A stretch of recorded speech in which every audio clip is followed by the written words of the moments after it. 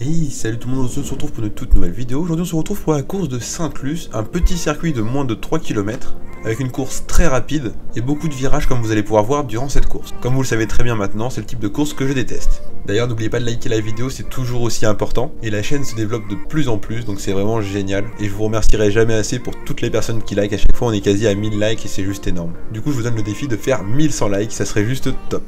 Comme vous pouvez voir à l'image, dès le départ, je me suis dit, il faut vraiment que je réussisse à rester placé à l'avant. Donc je suis parti devant et je me suis dit, il faut que je reste le plus longtemps possible placé à l'avant et essayer de ne pas reculer à l'arrière du peloton. Comme vous pouvez voir, la vidéo va être très courte, tout simplement parce qu'il s'est pas vraiment passé beaucoup de choses dans cette course. Et comme vous avez pu voir sur les deux dernières courses, je suis pas vraiment au top en ce moment. J'ai pas les jambes, tout simplement. Mais bien sûr, c'est qu'une question de temps pour que ça revienne. Car ces deux dernières semaines, j'ai pu rouler un petit peu plus. J'ai pu profiter des partiels pour pouvoir rouler plus. Et donc, j'espère être mieux d'ici les jours à venir.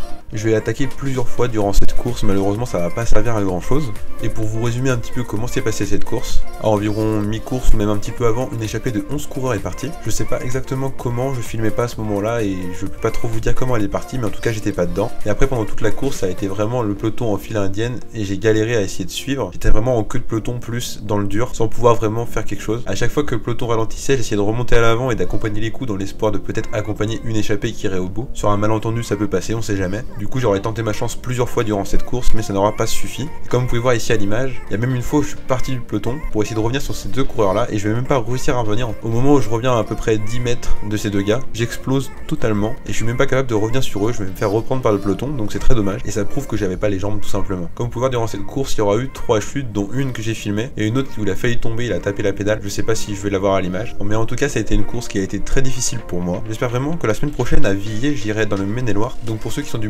Maine-et-Loire et qui veulent me voir, c'est vrai que j'y vais pas souvent et en l'occurrence dimanche j'y serai. Je vais donc courir à Villiers et j'espère vraiment que ça sera mieux, que ça sera pas un circuit de type Kritos comme cela que j'aime pas et que je vais essayer de pouvoir m'exprimer un petit peu mieux. D'ailleurs je serai en compagnie d'un ami suisse qui est en vacances à Nantes et qui va donc participer à la course avec moi, ça va être plutôt rigolo, j'ai roulé avec lui cette semaine, on s'est bien amusé, du coup ça va être marrant de faire une course avec. Cette semaine j'ai donc pu m'entraîner un peu plus, j'ai réussi à faire une sortie de 150 km, ça faisait très longtemps que j'avais pas fait autant, donc j'espère que ça payera dans les courses à venir. D'ailleurs n'hésitez pas à me dire dans les commentaires, tiens, ça peut être intéressant, dites-moi combien de kilomètres vous faites par semaine en moyenne, en général, ou combien de temps passé sur le vélo. Dites-moi vraiment environ, hein, ne vous prenez pas la tête au kilomètre près, c'est juste histoire d'avoir un ordre d'idée de combien de kilomètres vous faites. Et donc à la fin de cette course, je vais être en queue de peloton et il va y avoir une chute devant moi. Et comme vous pouvez voir, je vais être pris dans une cassure. On va se retrouver qu'à 5 et on va jamais revenir sur le peloton tout simplement. Donc il restait quelques tours et on va faire ces derniers tours à 5. Je vais donc faire dernier de ce groupe en plus, tout simplement parce que je trouvais qu'il n'y avait aucun intérêt de faire le sprint. Et je vais donc faire 35ème. Je vais faire dernier de ceux qui ont fini la course. Mais au moins j'ai fini, c'est ce qu'il faut se dire. En tout cas, j'espère que cette vidéo vous aura tout de même plu. Je vous promets que la semaine prochaine, il y aura plus de spectacles. En tout cas, je vais tout faire pour. J'espère vraiment réussir à faire un résultat. Et je vous dis merci d'avoir regardé la vidéo jusqu'au bout. À la prochaine.